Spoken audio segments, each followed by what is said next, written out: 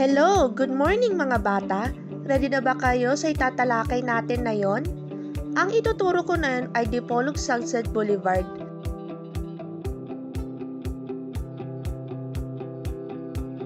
Matatagpuan to sa esplanade ng Dipolog Sambonga del Norte.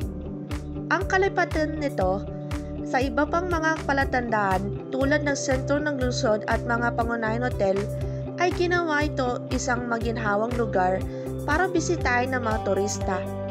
Sikat sa mga nakamamanghang tanawin ng paglubog ng araw, mga recreational option.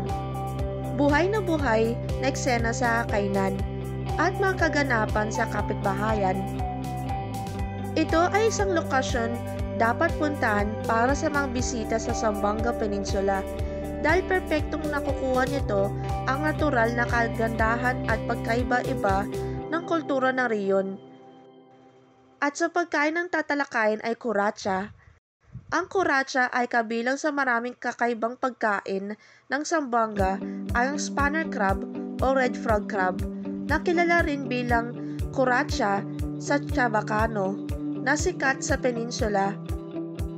Ito ay tulad ng isang higanteng dagat alimango, spiny lobster hybrid, ngunit karamihan sa karne nito ay nagmula sa katawan sa halip na nasa mga kuko.